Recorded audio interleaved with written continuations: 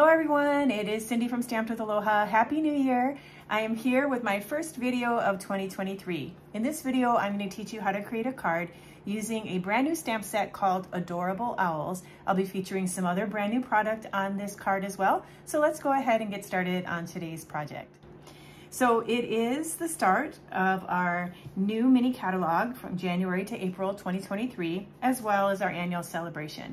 And the stamp set that I'm gonna be using today is right here on page four of the Sale-a-Bration catalog, and it is the set called Adorable Owls. I'm gonna actually use all of the images in the stamp set for today's card, except for one. So we'll get a lot of use out of this. Then from the mini catalog, I'm gonna be putting three brand new products on this project. The first one I'm gonna put on the project is this new gingham paper. This is six by six. It's the Country Gingham DSP, and it's a part of the Country Floral Lane suite. Also in that suite, um, there are th these uh, really pretty uh, pastel adhesive sequins. I'll be using this on the project to embellish it. And then the final new project that comes from the mini catalog is this. I'm gonna be using a small piece of this beautiful um, fine shimmer paper. It comes in 12 by 12 sheets and I'm just gonna be using a little square that I die cut with our stylish shapes dies, okay? So those are the new products you're gonna see on the card. Let's go ahead and get started on our card. So you need a card base. This is four and a quarter by 11 inches and we're gonna score it in two different places. I'm gonna score it at four and a quarter and then I'm gonna score it again at eight and a half. Okay, that's all the scoring that we need for our card today.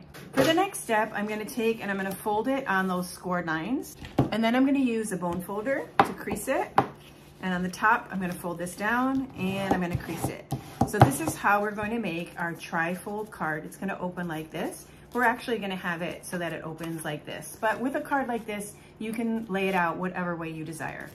All right, now we need some um, designer series paper from that gingham paper I showed you. So you're gonna cut a piece of the six by six into a three and three quarter by three and three quarter square. And then this one is gonna be a two by three and three quarter rectangle. So these are the two pieces of designer series paper you use. And then you're gonna need the base for that. So we have two pieces of basic white that are cut at four by four inches. And we have one piece of basic white that's two and a quarter by four inches, okay? So we're gonna take one of these and put it to the side. We're gonna take these two now and we are gonna layer them with the coordinating designer series paper. So I wanna show the balmy blue side of the paper. So I'm gonna put my adhesive on the back here and I'm going to go ahead and glue this down right here on the top. Okay, and press that down. And then we'll do the same on our little rectangle here. Put adhesive on the red side and then glue this down. Okay, very good.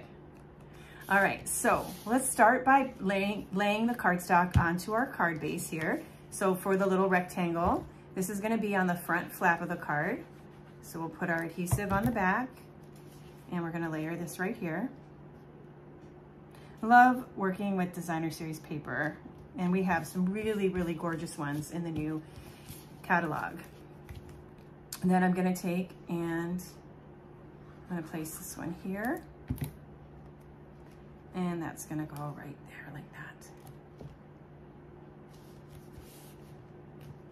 Okay, so our designer paper is on there and now we're ready to do our stamping.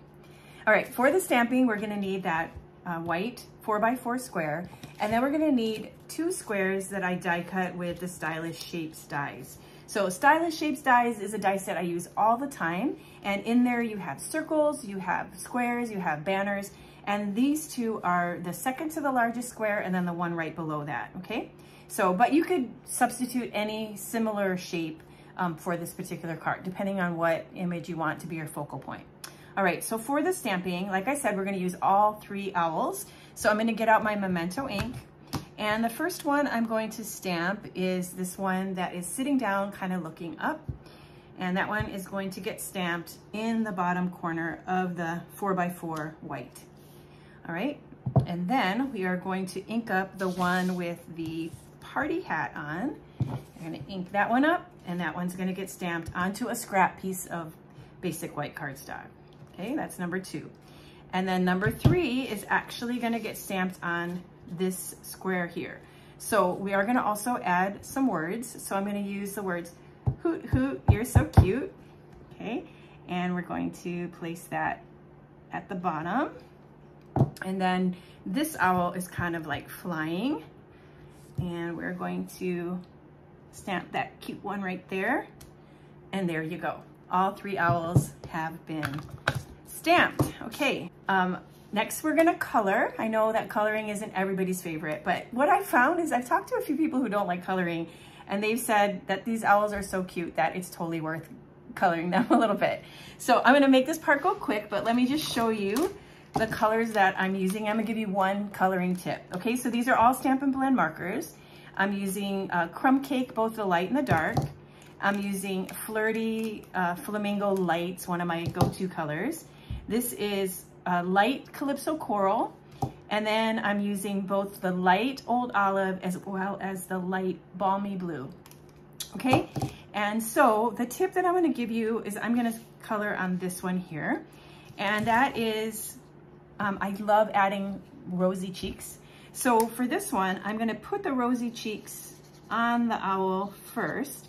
I'm also gonna add a little bit of color on the ears like that. And then I'm gonna take my light crumb cake and this is gonna go all on the face and I'm gonna color over top of the rosy cheeks in order just to blend it in and just make them a little bit lighter. It's a tip that I really wish somebody would have told me when I was putting my makeup on going to high school when I could have done a much better job blending. Well, it was the 80s, so I guess it was okay. But anyway, uh, so blend, blend, blend. That's the, that's the tip I want to give you is to see how that looks so much nicer blended in rather than having really bright rosy cheeks, okay? All right, so I'm gonna go ahead and finish coloring these three images and then this image here, I'm not only gonna color it, but I'm also gonna fussy cut it.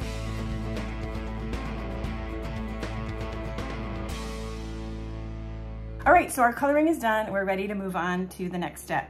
And so for that, I just need to do a little bit more stamping on this square here. I'm gonna place it at a diagonal again, and this is gonna be a birthday card, so I'm gonna stamp it with the words, it's your day. Again, I'm using that uh, stylish shape square, and I'm gonna stamp at a diagonal like that.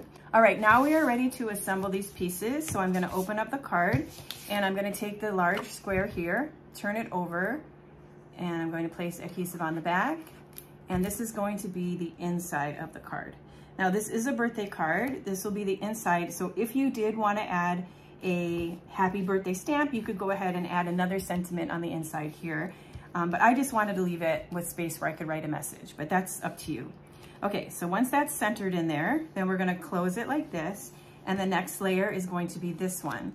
So I'm going to take and add my adhesive, and then I'm going to center this on this second panel, like so, okay?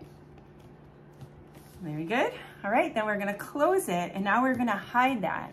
So we're gonna take that shimmer, gold shimmer square, and I'm gonna line it up where I want it to go, and then I'm gonna turn it over and just get out my dimensionals, and I'm gonna place a dimensional at the top and a dimensional on each side here. I'm gonna take off the backing, put those in a neat little pile, and then I'm going to place this overlapping that square below, so now it hides that other sentiment, okay? And then we wanna add more weight to the top of the card, so I'm gonna flip this square over, and I'm going to add four dimensionals on the back, I'm gonna take off the back of the dimensional. Okay, and I'm going to center that right there. Very good. Then we're gonna take our cute little owl and add even more dimensionals. So I'm gonna place three. I want this to be a little bit heavy to help weight down the top of this card. And I'm going to place this one right here like so. All right, so next we're going to embellish with the pastel adhesive back sequins. And so I'm gonna grab a couple of them and put them up here. Did I grab one? And put them up here at the top. And then I'm gonna do a cluster of them down here at the bottom.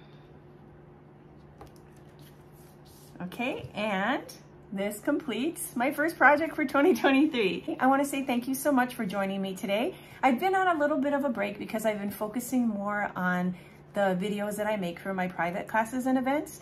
And so if you're interested to find out more about that, please be sure to get in touch with me. You can also follow me on my Instagram at Stamped with Aloha or go to my blog and follow me there at stampedwithaloha.com. Of course, if you're watching me on YouTube, be sure to subscribe to this channel. And if you click for notifications, then every time I post a video, then you'll be notified and you can um, see whatever I'm doing that's new. Well, uh, again, thank you for joining me. Thank you for your encouragement, your love and support. I'm so grateful for each one of you and I look forward to sharing more projects with you in this new year. Until next time, aloha.